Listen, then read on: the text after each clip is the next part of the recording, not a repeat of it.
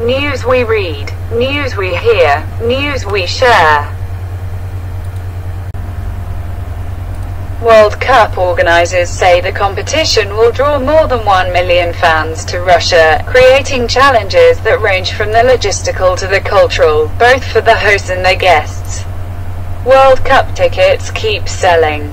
By Thursday, FIFA said that just over 2.4 million had been sold, more than 1.5 million of them outside Russia.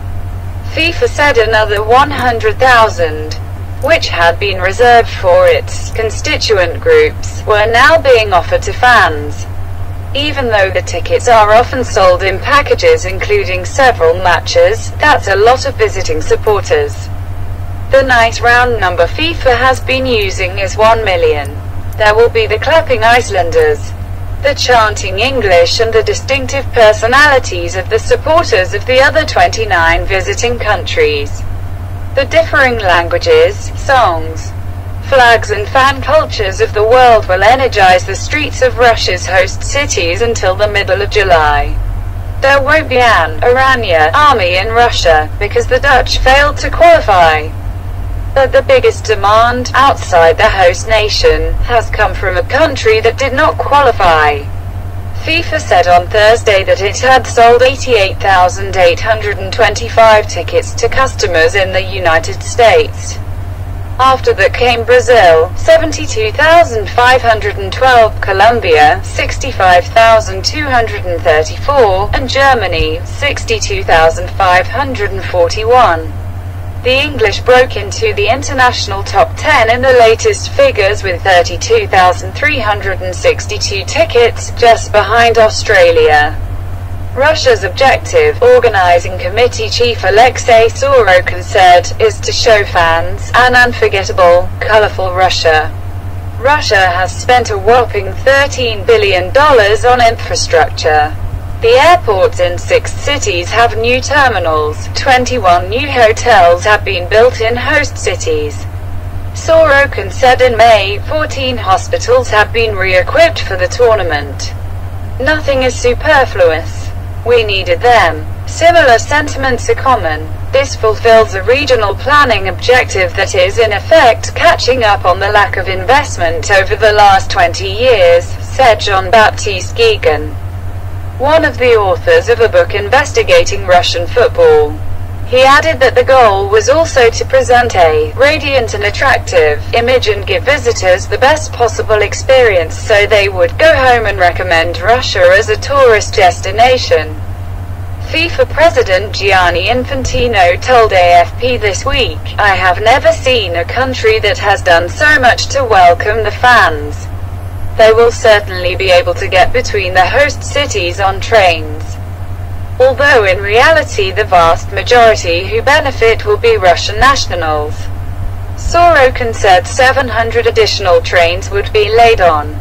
It's a good system but what they are offering is insufficient and the vast majority of trains are already reserved, said Ronan Evain, head of Football Supporters Europe, FSE an umbrella organization of supporters in 40 countries. This could be a concern because some owners of apartments in host cities have sharply increased their prices. Some owners have cancelled bookings, and are now demanding higher prices than they originally advertised. Many fans complained of similar tactics in the Ukrainian capital Kiev in May when Liverpool played Real Madrid in the Champions League final. Evain said, in Moscow. Things are starting to balance out because there is an enormous choice of accommodation, but in cities which are not as used to having tourist visitors, like Saransk and Nizhny Novgorod, prices are shooting up. The question of how foreign visitors will be received in Russia remains to be seen. A lot has been done to train volunteers and the security forces to avoid racism, said Sylvia Schenk, of Transparency International, who also sits on a FIFA Committee on Human Rights. But in a country where black footballers are still occasionally subjected to monkey chants, there is an obvious risk of racist incidents. A 2013 law in Russia makes homosexual propaganda a criminal offense if it is distributed to young people. FIFA has succeeded in negotiating with Russian authorities so that the rainbow flag, the symbol of lesbian, gay, bisexual and transgender pride, can be displayed in stadiums during the tournament. The rainbow flag will be allowed in stadiums for example. Is it solving all the issues of Russia with gay people? No, but it is a step. Infantino told AFP. Schenk, from Transparency International, said, there will also be a House of Pride in Moscow run by Russia NGOs and FIFA, and the authorities have confirmed that no one will be prosecuted. In terms of the training of volunteers, many have not been given any training in English, said Evain. It won't necessarily be a problem unless there is a problem like an illness or a specific request from an elderly supporter.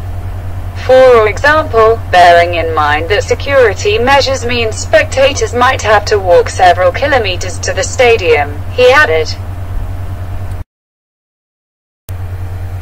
News we read, news we hear, news we share.